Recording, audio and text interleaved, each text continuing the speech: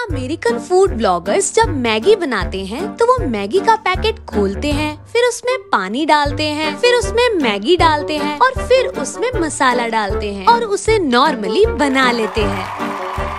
लेकिन Indian food bloggers जब Maggi बनाते हैं तो एक्सपेरिमेंट करते हुए उसमें आइसक्रीम डालते हैं ब्लैक वाटर डालते हैं कोल्ड ड्रिंक डालते हैं हर्षे सिरप डालते हैं और स्टिंग डालते हैं। ऐसी सुगंध भरी मैगी बनाते हैं कि खाने में उसका अलग ही टेस्ट आए। टैग करो ऐसे इंडियन फ़ूड ब्लॉगर्स को। और आपने मैगी के साथ क्या ट्राई किया है कमेंट में ज़रूर बताना।